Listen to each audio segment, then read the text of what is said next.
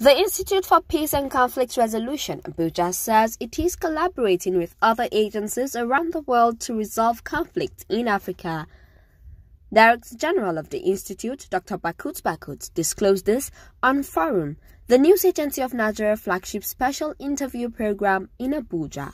We work with ECOWAS. We work with African Union.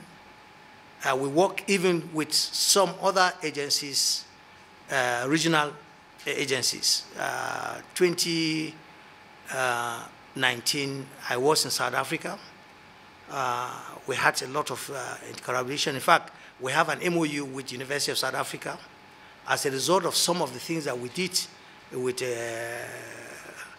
Accord, if you know Accord based in South Africa. And so we have done that and I have done some work with uh, IGAD.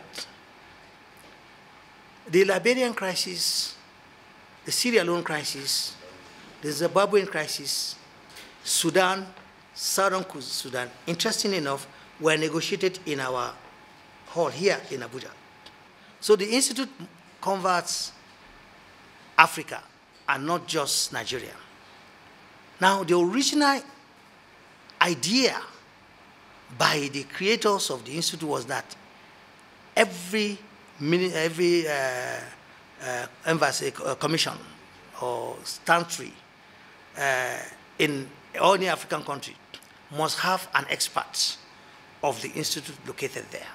We're looking at that because we even have a center for Africa and China research in the institute. Now, we, get, we have got support from uh, Japanese, uh, the Netherlands, and so many other